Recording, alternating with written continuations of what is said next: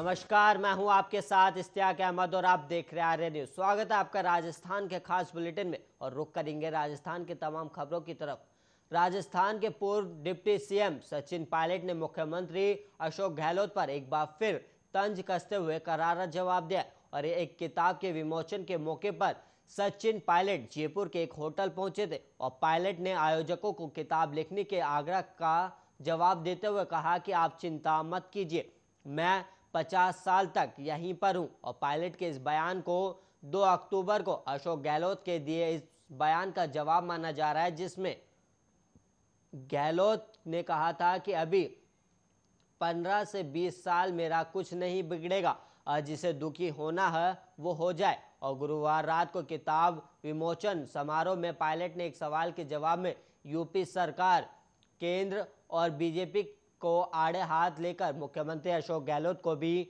नाम लिए बना निशाने पर लिया। और पायलट ने कहा कि अपने में खोट बताकर स्वीकार बहुत कम लोग कर पाते हैं। और एक तो ये होता है कि आदमी सच्चाई से धरातल से जुड़ा हो और वास्तव में वो साधारण ज़िंदगी जीता है। और आजकल तो राजनीति पाखंड की भी हो गई है। और वहीं कई लोग कहते हैं कि बहुत ज़मीन से जुड़ा हूँ और बहुत साधारण हूँ। लेकिन असलियत कुछ और होती है। आप दिन में दो घंटे चार घंटे छः घंटे तो दिखावा कर सकते लेकिन चौबीस घंटे नहीं कर सकते। और असलियत सामने आ जाती है। इसलिए बेहतर यह है कि जो आप हैं, वो स्वीकार करें और आपकी पर्सनैलिटी, रियलिटी जो है, जैसी है, उसे स्वीकार करें। और जितना ज़्यादा खुलकर हम जनता के सामने बात रखते हैं, जनता उसे स्वीकार करती है। और पायलट ने मंगलवार को टोंक में कहा था कि हमेशा कोई पद पर नहीं रहता। और ये जनता है, जितना समय आप दोगे सिंहासन पर बैठोगे और जब जनता करवट बदलती है तो इतनी ज़ोर की पलटी पड़ती है कि आम आदमी को पता ही नहीं पड़ता कि क्या हो रहा है। लेकिन जिन लोगों के अंदर ये घमंड और अहंकार आ जाता है कि हम जीवन के अंतिम पड़ाव तक सत्ता में बैठे रहेंगे, और मैं समझता हूँ कि वो गलत है।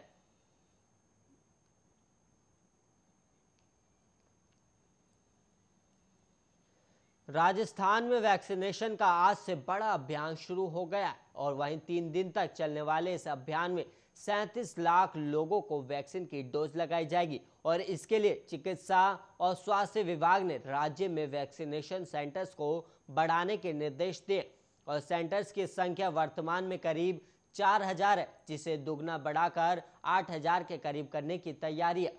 और यह अभियान रविवार 10 अक्टूबर तक चलेगा और स्वास्थ्य निदेशालय, राजस्थान में परियोजना निदेशक, टीकाकरण डॉक्टर रघुराज सिंह ने बताया कि इस वक्त हमारे पर 30 लाख से ज़्यादा वैक्सीन का स्टॉक है और उन्होंने ये भी बताया कि राजस्थान में जब से वैक्सीनेशन प्रोग्राम शुरू हुआ है, तब से अब तक चार दशमलव दस करोड़ से ज़्यादा लोगों को वैक्सीन की करीब पाँच दशमलव छिहत्तर करोड़ डोज लगाई जा चुके और इनमें एक करोड़ छियासठ लाख लोग डबल डोज लगवा चुके हैं और उन्होंने बताया कि आज सभी जिला स्वास्थ्य अधिकारियों को निर्देश दिए हैं कि शुक्रवार से रविवार तक ज़्यादा से ज़्यादा वैक्सीनेशन सेंटर संचालित करें ताकि ज़्यादा से ज़्यादा लोगों को वैक्सीन लग सके।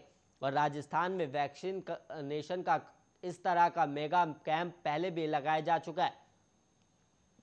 पिछले महीने 17 सितंबर को लगे एक दिन के कैंप में चौदह दशमलव निन्यानवे लाख लोगों को वैक्सीन लगाई गई थी और इनमें आठ दशमलव पाँच लाख लोग तो ऐसे थे जिन्होंने वैक्सीन की पहली ही डोज लगवाई थी।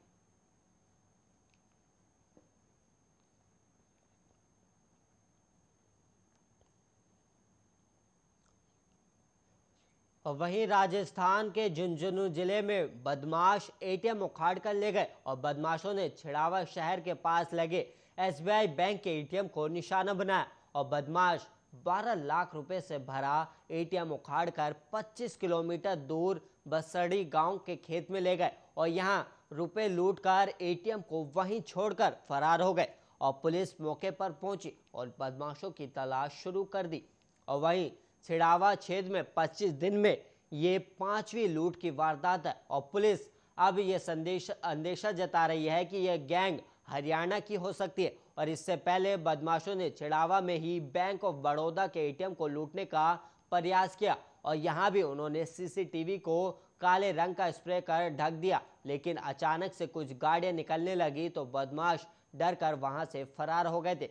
और अब बदमाशों ने एसबीआई बैंक के एटीएम को निशाना बनाया और पुलिस के अनुसार एटीएम की सुरक्षा के लिए एक गार्ड और दो होमगार्ड की ड्यूटी थी। लेकिन रात दो बजे करीब तीनों ही पास की एक दुकान में चाय पीने चले गए थे और इसका फ़ायदा उठाकर बदमाश एटीएम में घुसे और वहाँ रुपए से भरा एटीएम उठाकर ले गए और चेहरा ना दिखे, इसलिए सीसीटीवी पर काले रंग का स्प्रे भी कर दिया और पुलिस को मौके से गाड़ी के टायरों के निशान भी मिले और एटीएम लूट के बाद छिड़ावा पुलिस थाने के अधिकारियों पर भी सवाल खड़े हो रहे हैं और इससे पहले भी सूरतगढ़ में एक साथ तीन एटीएम लूट के बाद एसपी ने एक्शन लिया था। और झुंझुनू एसपी मनीष त्रिपाठी सूरजगढ़ थाने के एसएचओ समेत पाँच पुलिसकर्मियों को सस्पेंड कर दिया गया था।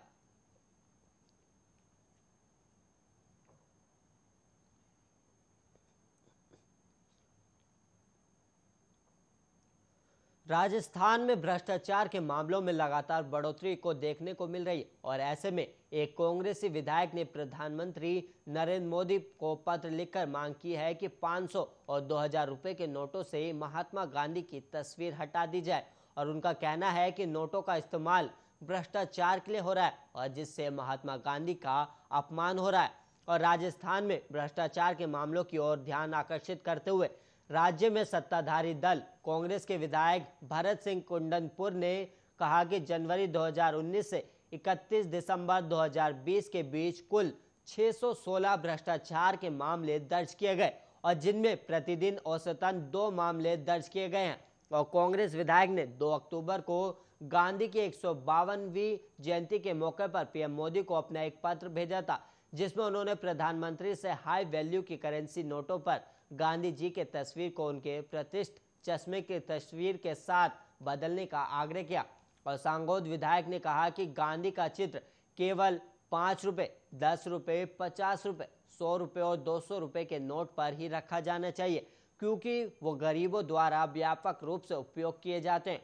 और गांधी ने जीवन भर निराश्रितों के लिए काम किया और उन्होंने कहा कि मेरा सुझाव है कि 500 और 2000 रुपए के नोटों पर गांधी के चश्मे की तस्वीर का इस्तेमाल किया जा सकता है। और इसके अलावा अशोक चक्र को भी इस काम के लिए प्रभावी ढंग से इस्तेमाल किया जा सकता है। और कांग्रेस विधायक कुंडनपुर ने अपने पत्र में कहा कि पिछले साढ़े सात दशकों में भ्रष्टाचार पूरे देश में फैला है और उन्होंने कहा कि महात्मा गांधी सत्य के प्रतीक है और गांधी की तस्वीर 500 और 2000 रुपए के नोटों पर छपी है, जो आमतौर पर भ्रष्टाचार और रिश्वत के बदले में इस्तेमाल की जाती है, जिससे महात्मा गांधी का अपमान हो रहा है। और उनका कहना है कि 500 और 2000 रुपए के नोटों से गांधी की तस्वीर हटा दी जानी चाहिए और इसका इस्तेमाल गरीबों द्वारा इस्तेमाल किए जाने वाले छोटे नोटों पर ही किया जाना चाहिए।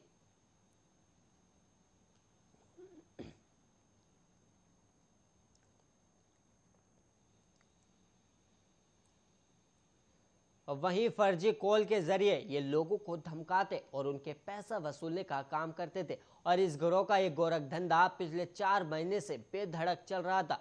लेकिन कहते हैं ना कि कानून से कोई नहीं बच सकता और आखिरकार पुलिस ने गिरोह को पकड़ने में सफलता हासिल कर ली। जयपुर आईटी सेल से मिले इनपुट के बाद अजमेर की पुष्कर पुलिस ने ये कार्रवाई की है। और पुलिस के अनुसार पुष्कर में साइबर क्राइम करने वाले गिरोह की जानकारी मिलने के बाद लोकेशन के आधार पर रेकी कर दबिश दी गई और इस दौरान दो अलग अलग रिजोर्ट से संचालित हो रहे फर्जी कॉल सेंटर चलाने वाले गिरोह के सदस्यों को गिरफ़्तार किया गया और इस गिरोह में कुल 18 सदस्य, जिनमें एक महिलाएँ भी शामिल बताई जा रही है। और पुलिस के अनुसार ये सभी फर्जी अंतर्राष्ट्रीय कॉल सेंटर चलाते थे। और विदेशी नागरिकों को इनकम टैक्स अधिकारी बनकर धमकाते और बार बार इसी तरह फ़ोन करके या अमेरिका और ऑस्ट्रेलिया के लोगों से ठगी के घिनौने काम को अंजाम देते और गिरोह का सरगना राहुल दिल्ली का रहने वाला है, जो पहले भी फर्जी कॉल सेंटर चलाने के आरोप में गिरफ़्तार हो चुका है और कार्रवाई के दौरान पुलिस को इनके कब्जे से 17 लैपटॉप 19 मोबाइल 12 हेडफोन और मोडेम राउटर और अन्य इलेक्ट्रॉनिक उपकरण बरामद किए। और वहीं आरोपियों से पूछताछ में सामने आया कि ये बेरोजगार छात्रों को मोटी सैलरी देने का लालच देकर फंसाते और अपने गिरोह में शामिल कर लेते थे और कुछ दिन सैलरी देने के बाद बेरोजगार छात्र इनके अपराध में शामिल हो जाता और गिरफ़्तार किए गए सभी आरोपियों से ये भी पूछताछ जारी है।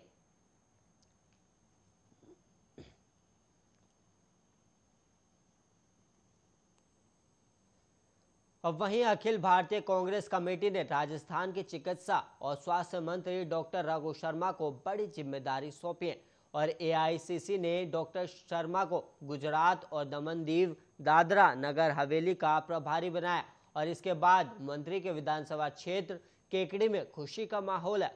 और वहीं पूर्व उप मुख्यमंत्री सचिन पायलट अब बैक सीट पर आ गए और सूत्रों के अनुसार प्रदेश कांग्रेस में लंबे समय से पूर्व उप मुख्यमंत्री सचिन पायलट के प्रभारी मान बनाए जाने को लेकर चर्चा जोरों पर थी, लेकिन एन वक्त पर आलाकमान ने डॉक्टर रघु शर्मा पर गुजरात को लेकर अपना भरोसा जताया और राजनीतिक गलियारियों में डॉक्टर शर्मा की ज़िम्मेदारी के पीछे मुख्यमंत्री अशोक गहलोत का विश्वास बताया जा रहा है।